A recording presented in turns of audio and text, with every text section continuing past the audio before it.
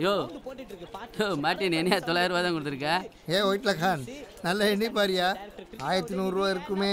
யோ எமகாதையா நீ. ஆயிரம் ரூபா தான் இருக்கு. இல்லைன்னா உன்ட்டெல்லாம் பிழைக்க முடியுமாய்யா? என் பொண்ணு கல்யாணத்துக்கு போடுற சீட்டில் மாமா. ஏ வாங்களே எதுக்கு இவ்வளோ கஷ்டப்படுற? ஏன் எங்களெல்லாம் பார்த்த மாப்பிள்ளையே தெரியலையா? நாங்கெல்லாம் ஓசிலேயே வாழ்க்கை கொடுப்போமியா. ஐயோ பத்திரிக்கை அடிச்ச பத்தாவது மாசத்துல நீ தாத்தாயா? வாங்கய்யா மன்மத குஞ்சுகளா? உங்களுக்காக தான் என் பொண்ணு வெயிட் பண்ணுறா அவளுக்கு நல்லா பளிச்சிரு சோப்பா மாப்பிள்ளை பார்த்துருக்கல செம்ம சோப்பில் யோ ரவி. சொல்லுங்கண்ணே. இது முருகரா பிள்ளையாரையா? பார்க்குறேண்ணே இது ரெண்டும் இல்லைண்ணே. வெங்கடாச்சலபதிண்ணே ஓஹோ அந்த தொழில் இது சரி பேச்ச குறை பேச்ச குறை. முருகேசன் ஆ சொல்லு தம்பில திருவள்ளூர் ரூட்ல ஆங்கிரி படம் வித்து அன்பு அம்பானி ஆயிடுவான் போல இருக்கு. சிறப்பு. சரி நமக்கு இந்தியாவே தள்ளாத. கொஞ்சம் சைனாவையும் ஏத்து. முருகேஷ் அண்ணா சொல்லுமா. ரெண்டு packet long size pencil return ம். முருகேஷ் அண்ணா சரிம்மா கணக்கு சங்கீதா. வச்சுக்கிறேன் தமிழ்? என்ன தமிழ் நொம்முலு கிஃப்ட் கொடுக்க அழைச்சிட்டு போறேன்னு சொல்லிட்டு தனியா விட்டு போயிட்டீங்களா? அதெல்லாம் தமிழ். சுதந்திர கொடி தான் கூப்பிட வேண்டாம்னு சொல்லுச்சு. ஏன்னா அதுவும் தானே காசு போட்டிருக்கு. யாரு? அந்த எண்ணெய் போடாத இரும்பு கதவு மாதிரி கிரீச்சு கிரீச்சுன்னு பேசுமே அதுவா? அதெல்லாம் என் கண்ணு முன்னாடி காட்டிடாது. எல்லாம் என்கிட்ட விட்டுடு. ஓம் நமச்சிவாய வணக்கம் டக்கர் அண்ணே. வணக்கம் வணக்கம் வணக்கம். வணக்கம். முருகேஷே சொல்லுங்கண்ணே. வர்ற வாரம் மேயருக்கு பிறந்த நாள் வருது. சரிங்கண்ணே. ஐம்பது வேட்டி ஐம்பது புடவை ஐம்பது பிரியாணி உன் சைடு சொல்லிட்டேன். சரிண்ணே. ஓகே தானே? ஓகேண்ணே.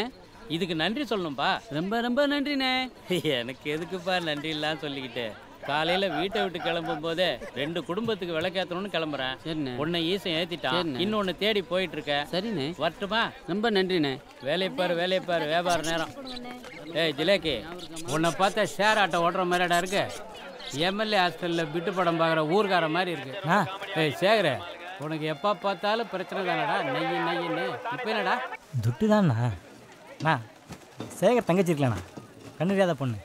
டீச்சர் கூட படிக்குதுண்ணா ஆமாம் அதாண்ணா அந்த சர்டிஃபிகேட்டை வச்சா சுயல் தொடங்க லோன் கிடைக்கும்னு நான் பசங்க சொன்னானுங்கண்ணா. அதான் ஒன்றாண்ட கேட்கலான்னு. சுய தொழில்னா மல்லையாட்டிருந்து கிங் ஃபிஷர் வாங்கி நடத்த போகிறீங்களா டவுசரு அப்போ ஏற்கனவே வாங்கினதெல்லாம் ஆ? டேய் சேகர. சொல்லுண்ணா. உன் தங்கச்சி படிப்பு எப்போ முடியுது? நான் இந்த வருஷத்தில் முடியுதுண்ணா. அப்புறம் என்னடா?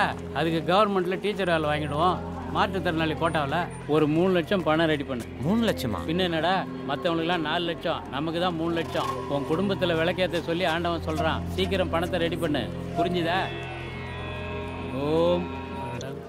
ஓம் நமச்சிவாயா சரசு. என்னம்மா லேண்ட்லைன்லேருந்து வர? வீட்டில் யாரும் இல்லையா? உனக்காக அவசர போலீஸ்னு பேரை வச்சுக்கிட்டு ஏம்ல எம்பிட்டு லேட்டு வார வழியில லீக் ஆகி போச்சு சார் ஆயில் அல்லோலப்பட்டு அடிச்சு வாரத்துக்கு லேட் ஆகி போச்சு சார் டீசல் எல்லாம் வண்டி பாதியில நின்று போச்சு சார் எல்லாருமா சேர்ந்து இருக்கிற சில்லறையெல்லாம் பிறக்கி போட்டு அரை லிட்டர் டீசல் ஊத்திட்டு அவசரமா கிளம்பி வந்திருக்கோம் சார் போலீஸ் எப்பவுமே கடைசியா வர்றதுக்கு இம்பிட்டு காரணம் இருக்கா? இன்சு டிபார்ட்மெண்ட் ரைஸ் இதெல்லாம் பப்ளிக்ல பேசாதீங்க. அப்ப நம்ம மேல இருக்க பயம் போயிடும். ஏற்கனவே அவனுங்க நம்மள ரொம்ப கேவலமா நினைக்கிறானுங்க. இல்ல கேவலமானவன் சொன்ன உடனே ஞாபகம் வருது. ஓ மாமனார் என்ன பண்ணிட்டு இருக்காரு? கரெக்டா கேட்டீங்க. அவர் ரொம்ப கேவலமான வேலை தான் பாக்குறாரு. காமெடி